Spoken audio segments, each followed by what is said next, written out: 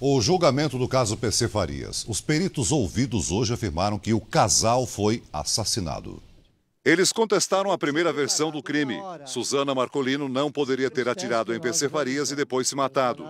Segundo os peritos, houve duplo homicídio.